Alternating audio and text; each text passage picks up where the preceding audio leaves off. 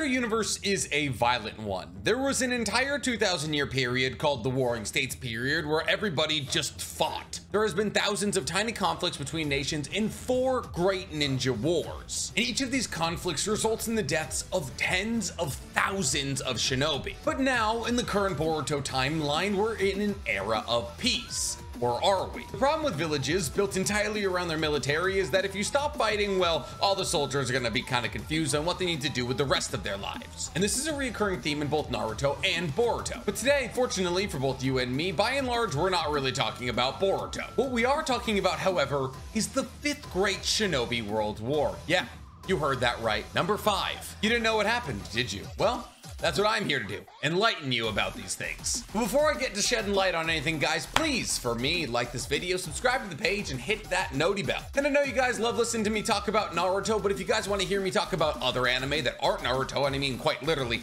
any other anime that's not Naruto, guys, please follow my brand new YouTube page, The Weeb Commander. If it hits 50k by the end of the year, I'm getting a tattoo that says I heart Sasuke anywhere in my body that's not my face. And while you're out there following other pages associated with moi, guys, go ahead and follow NC Gamer 23, where instead of talking anime, I play video games, and Hammer's Collection, where instead of talking anime while sitting in this chair, I do it while I build these massive statues, which, mind you, I have the biggest ever statue we've ever received. It weighs 95 pounds, and I'm unboxing it this Sunday. Before we get into all that, guys, today we have to talk about a brand new sponsor to the page, Dragon City. Dragon City is a free mobile game that allows you to collect thousands of different dragons to build your own empire. And when I say thousands of dragons, I mean thousands of different dragons. In fact, you can select two different dragons, have them breed, and create a new kind of dragon for your empire's army. But just hatching these dragons isn't gonna be enough. You're gonna need to feed them, to evolve them. You're gonna have to train them for various different kinds of PvP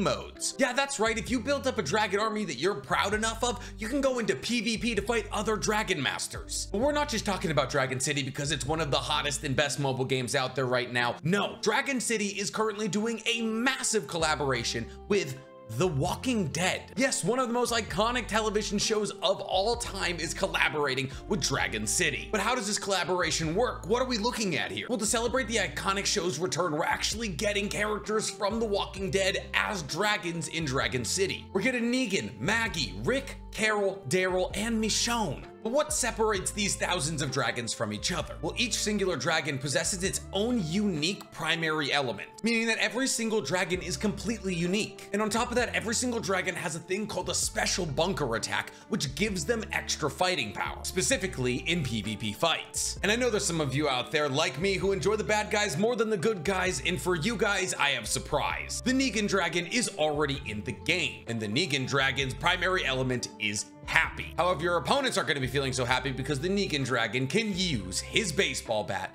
Lucille. You can get your Negan, Maggie, Rick, and Carol dragons through the offers or through the breeding island when they appear in game. And all you have to do to get the Michonne dragon is to accomplish her quests. And if you get all five Walking Dead dragons, then you get the Daryl dragon for free. Getting these dragons is an absolute breeze. All you have to do to get Negan, Maggie, Rick, and Carol is to download Dragon City using the link in my description or my pinned comment. And on top of the chance of getting these four dragons, you will also get 15,000 food, 30,000 gold, and an epic nature zombie dragon. So what are you guys waiting for? Download Dragon City and get to building your own dragon empire today. So I know what you're saying. You're reeling over the fact that I just told you that there was a fifth grade Shinobi Worlds War and you've never heard of it. Well, that's because by and large, the average Naruto consumer doesn't read the light novels. Unfortunately for us who do read the light novels, they do an incredible job of painting the world of Naruto and filling in time gaps. But before we get to talking about the fifth grade Shinobi Worlds War, we have to talk about what built up to said fifth grade Shinobi Worlds War. So let's start these videos off in the way that we usually start these videos off, at the beginning. You see, the time period we're talking about exists within the Boruto timeline, specifically after the events of the Momoshiki invasion. That is to say, after Boruto's Chunin exams when all of the Kage, Sasuke, and Boruto fight against Momoshiki and eventually kill him. You see, the events I'm going to tell you about today come from Shikamaru Shinden. Therefore, all the events we know about this 5th grade Shinobi Worlds War come from the perspective of Shikamaru. Our story opens with Shikamaru waking up after a night of drinking and smoking. Yes, Shikamaru smokes now. But Shikamaru realizes upon waking that he never took off the clothes he was drinking in, never took the bath that Temari set for him, or ate the dinner that she left for him. So he knew Temari would be pissed with him. So when Shikamaru descends down the stairs after taking a bath and brushing his teeth, he finds Temari in the kitchen and he tries to make small talk with her. It's at that point that Temari reminds Shikamaru that the day that Shikamaru went out drinking and smoking was actually their wedding anniversary. Shikamaru apologizes profusely but has to cut his apology short because, well,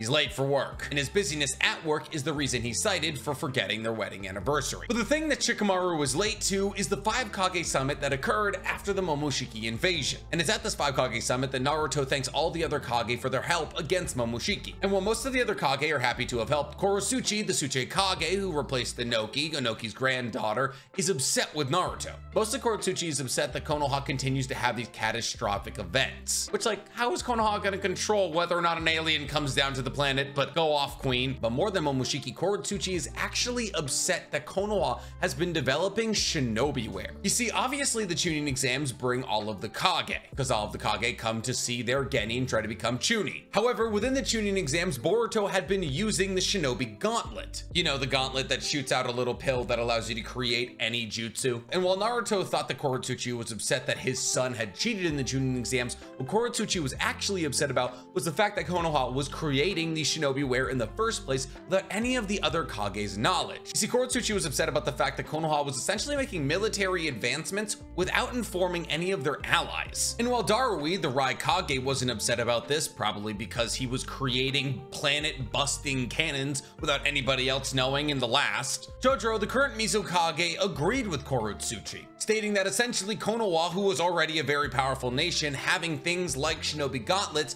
put the rest of the villages at a very large large military disadvantage. And it's at this point Gaara, being the Naruto simp that he is, reminds everybody that they're all allies and military disadvantage shouldn't matter. But it's this point that Kurotsuchi reminds everybody that Sasuke, who was once a criminal, is out exploring the entire world, essentially spying on everybody and reporting back to Konoha. And it's this point that Shikamaru tries to remind Kurotsuchi that Konoha were quite literally the people who created the Shinobi Union, which is the allyship. What Shikamaru didn't mention and what I would have mentioned, which makes Shikamaru a much better person than me though, is the fact that the Hidden Stone joined the Shinobi Union with the idea of destroying it from the inside out and then picking up all the broken pieces after the Fourth Great Shinobi World War until Onoki was convinced otherwise, but that's just me. Sorry, costume change. Black shirts wash me out. However, not yielding to the reason of Shikamaru or the show of allyship from Gaara, Kurotsuchi states that unless Konoha divulges all of its covert secrets, Iwa will pull out of the Shinobi Union. And honestly, I do kind of understand where Kurotsuchi's coming from here. Konoha is already the strongest village on Earth.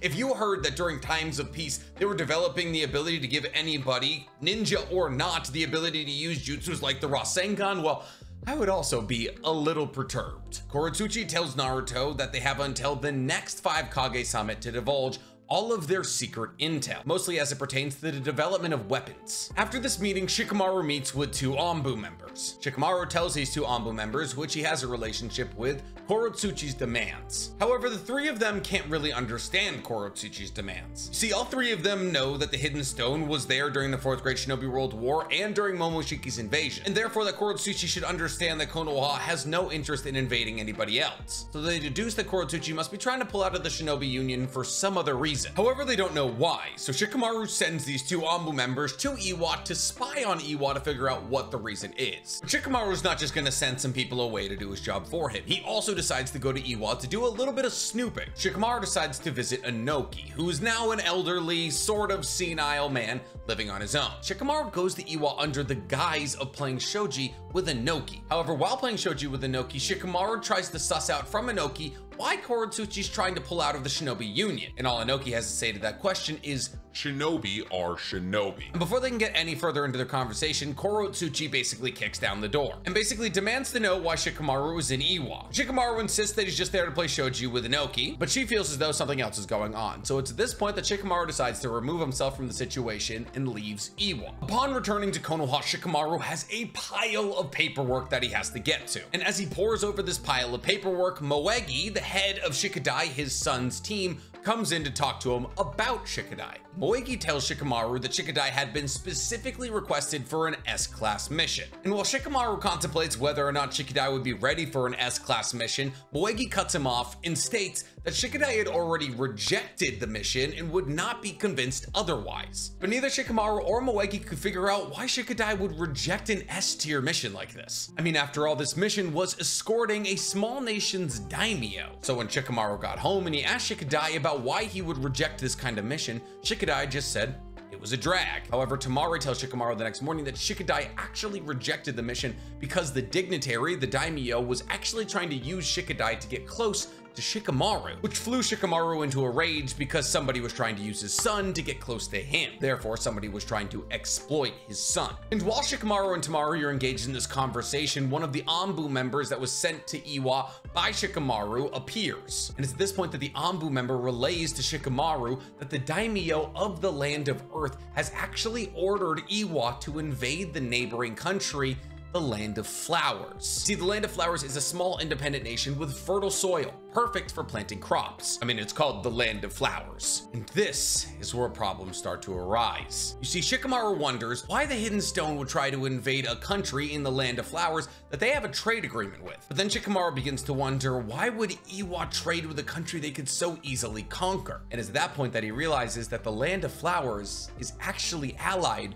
with the Land of Lightning, specifically the village hidden in the clouds. Therefore, if Iwa were to invade the Land of Flowers, the village hidden in the clouds would have to come to the Land of Flowers defense, which would start a war between the village hidden in the stone and the village hidden in the clouds. However, there's one big problem with that. The Shinobi Union specifically states any hidden village associated with the Shinobi Union cannot come into conflict with each other. Therefore, Kurotsuchi made an unreasonable demand of Konoha, which she thought Konoha would never in a million years approve of, and therefore would give her a reason to leave the Shinobi Union and then be cleared to invade the Land of Flowers. It's this point that Shikamaru realizes what Onoki told him. Well, it might have seemed simple. Basically, what Onoki was saying when he said shinobi are shinobi Shinobi is that shinobi in a country always have to listen to their country because the hierarchy of power within the Naruto universe has the Kage and then the Daimyo. The Kage of a respective village is in charge of that, the respective village. However, that respective village exists within a country, the land of earth, the land of fire, the land of wind, the land of lightning. And those lands or those countries are run by the Daimyo. Therefore, when Onoki said shinobi are shinobi, he was stating that a shinobi always has to listen to the call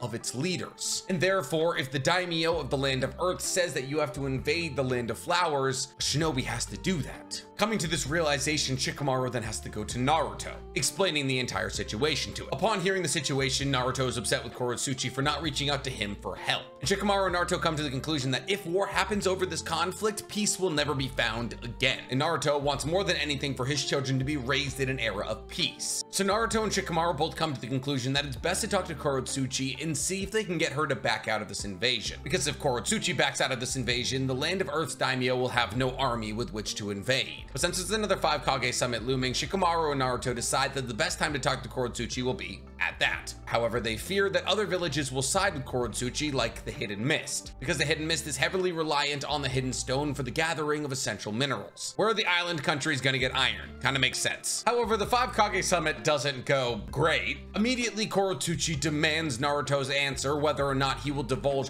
all of the covert information that they have. And it's at this point that Naruto brings up the fact that Kurotsuchi is planning on invading the Land of Flowers, which kind of proves Kurotsuchi's point that Konoha is collecting covert information on all the other villages, and Kurotsuchi brings that up. However, Darui, the Raikage, realizing what an invasion in the Land of Flowers would mean, gets furious with Kurotsuchi. However, Kurotsuchi kind of ignores Darui and shifts all the blame onto Konoha. And Naruto tries to ease the situation by stating that even with all of his power and Konoha's power, he would only ever use that power to make sure that peace persisted. But while Naruto was trying to ease the situation, Chojuro the Mizukage interjects and states that a world with no war doesn't need shinobi, which confirms Shikadai's earlier suspicion that the Hidden Mist would side with the Hidden Stone. However, this flies Shikamaru into a rage and he uses Shadow Possession binding technique on all five Kage simultaneously. And it's at this point that he states that he will kill Chojuro and Kurotsuchi if they do not back off the warpath. Yes, you're hearing me correctly. Shikamaru was able to hold all five Kage simultaneously with his shadow binding technique. Gaara, well bound, states that killing them will do nothing, to which Shikamaru responds by saying, If Konoha shows that it's so opposed to war that it would kill two Kage, that will show that their power is too much to oppose and that peace will always stay as long as the strong strongest power wants it that way. That is to say that essentially Shikamaru was trying to make the point that if you try to start war, we'll kill you before you get the chance, which is war-like. However, it's at this point that Naruto is able to break out of the shadow binding technique because he was a Jinchuriki at the time. Gaara uses his sand to attack Shikamaru, which allows him to break out of the shadow binding technique. But I fully believe in that moment, Shikamaru probably could have killed Kurotsuchi and Chojuro. And it's at this point that Naruto has to detain Shikamaru and apologize to everyone for the attack. But the rest of the Kage were like, that wasn't chill and just kind of leave. But this was a clear act of aggression, and Naruto is very upset with Shikamaru. As they return to Konoha, Naruto yells at Shikamaru how he's stoking the flames of war. But Shikamaru actually becomes even angrier with Naruto, stating that his actions breaking out of the shadow binding technique undermined Konoha's ability to stop the war. And upon returning to Konoha, Shikamaru received continual updates from his two Anbu members,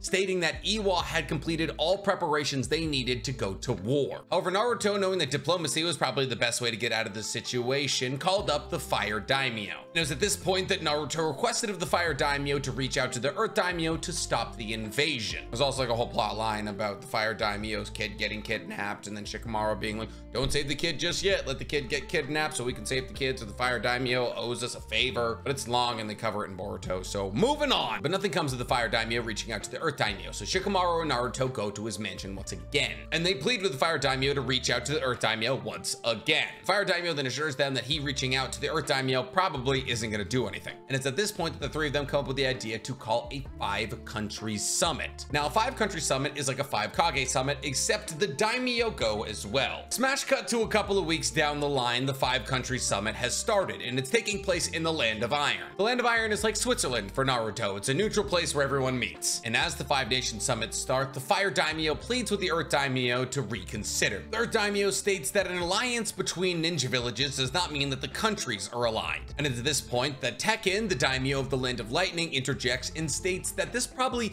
isn't a good enough reason to start a war, that being the invasion of the Land of Flowers or fertile ground. Conversations stall and the Fire Daimyo calls for a break, during which he meets with Shikamaru and Naruto. Iku, the Fire Daimyo, Shikamaru, and Naruto talk about ways to smooth things over with the other nations. And it's at this point that Naruto suggests that Konoha hands over all their secret intel to Kurotsuchi to make her pull out of the war. However, Iku states that now that the daimyo are involved, it has to be something more substantial. And it's at that point that Iku reveals that during the Third Great Shinobi Worlds War, Konoha took some of the Land of Flowers land, and that for a long time, Iku has felt very uncomfortable about having that land, and therefore he proposes handing that land over to the Land of Earth, since the Land of Earth is looking for fertile ground, and he believes the inhabitants of that area will be more comfortable in the Land of Earth. But Shikamaru is afraid that giving up lands will look like a defeat, but Iko assures him that he doesn't really give a shit. So when the meeting reconvenes, Iko proposes this idea to the other daimyo, and Danjo states that it's not going to be enough, I've already invested too much money in this upcoming invasion. But since now that this conversation has come to a stall, the daimyo recommend a continental summit, which is a bit like a five great country summit, except every single daimyo from every little country is also there. But the Land of Stones daimyo doesn't like this idea, so Iku, the Land of Fire's daimyo, gives him another idea. War between the Land of Fire and the Land of Stone. And would you believe it or not, the Land of Earth daimyo relented. Didn't want to lose for the fourth straight time. On their way home from the daimyo summit, Shikamaru is upset and he's out by himself walking in the mountains of Konoha. It's at this point that he wraps his shadow around a tree and tries to crush it. However, he finds he can't crush the tree, making him realize that he was incredibly rusty and thinking that he most likely wouldn't have been able to kill Kurotsuchi or Chojuro. Because at this point that Sasuke pulls up on him and he tells him that the Hidden Cloud is also preparing for war. This news makes Shikamaru feel useless as he's afraid that war is almost inevitable. However, Sasuke assures him that by him playing the diplomacy role, he allows Naruto to be Hokage. And by allowing Naruto to be just himself and not bogged down in the intricacies of diplomacy, he's allowing this war to possibly be avoided. It's at this point that Shikamaru and Sasuke get into a battle of telling each other that they're more important to Naruto than themselves until eventually they kiss. Just kidding. I mean, like, I wish, but they just separate, both feeling better about their respective roles. Smash cut to the Continental Summit, which is said to be attended by hundreds of people. So, like, all of the daimyo from small countries, the five major daimyo, the five kage, and then I'm assuming just a bunch of people protected, all of those people. Basically, the reason all of them are there is to vote on whether or not this invasion is approved or not. So if the majority say, yeah, go ahead and do it, then they get to invade the Land of Flowers. If the majority say don't, they don't get to do it. It's an interesting way to approach war, but when there's a guy who put a literal god in a moon making the rules, You listen to him. Mifune, the head of the Land of Iron and this summit's chairman, opens up the summit by telling the Earth Daimyo to say his piece. Danjo, the Earth Daimyo, states that shinobis are basically tools, and these tools were built for war. And now that these tools were not being used, they were getting rusty, and the entirety of the infrastructure built on shinobi life was crumbling. Therefore, this invasion into the Land of Flowers and the subsequent war that would come from it would return shinobis back to their usefulness. And Danjo states with the presence of things like the Otsutsuki, useless shinobi would mean the Earth's demise. However, Danjo's speech is followed by Iku's, the Fire Daimyo, who state that shinobi serve a much greater purpose than that of just war, stating that shinobi had built the Hidden Village, that shinobi had made this continental summit. And while yes, technically conflicts of the past had created the war they're in today, but shinobi were actively fighting right now for peace. And after Iku, Naruto steps to the podium. And as Naruto steps to the podium, Shikamaru steps outside for a smoke. Mirai Sarutobi, who's in attendance, reprimands Shikamaru for doing this. However, Shikamaru tells Mirai that Naruto's speech can only result in one conclusion. That one conclusion being peace. You see a large theme of this light novel is trust. Trust between Shikamaru and Naruto, trust between Shikamaru and Temari, trust between Shikamaru and Shikadai. Shikamaru wants to trust those around him to operate at their highest level of efficiency, and therefore Shikamaru wants that trust in return. Shikamaru realized during his conversation with Sasuke that his role is to make sure that Naruto is heard by as many as possible. And by Shikamaru making the Continent Summit happen and allowing Naruto to step onto the stage, he had already done his job. And while Naruto might have disagreed with some of the things that Shikamaru did, like sending Anbu to Iwa, Shikamaru needed Naruto to trust his ability to create the situation for Naruto to speak. And it's during this speech that Naruto states that shinobi are no different from your average person. They want their children to grow up in a world without complications or war. And while it's true that shinobi have always fought, shinobi for thousands of years have fought to end the fighting, and that a shinobi's worth is not identified through the battles they've fought, by the knowledge and abilities they've picked up while fighting. But remember what I said about trust? Trust between villages is also very important. And while Naruto is talking about knowledge and abilities, he realizes that he should have trusted the information of Shinobiware to all other villages. And therefore, during his speech, he reveals that he will be sharing all of the covert information gathered within Konoha about Shinobiware with everyone, essentially stating that Naruto will attempt to fix the power imbalance that has been created within Konoha, trying to make all villages powerful on an equal scale and thus rising everybody. You know what they say, a rising tide raises all boats. And Naruto's speech is broadcast all throughout the world, specifically in Konoha, where Shikadai and Temari are watching. And as they both watch Naruto's speech, they see Shikamaru's influences, which make them realize that while Shikamaru is unimpressive in the house, he has an incredible heart and he's thriving for peace. And he truly is the reason that peace is being achieved.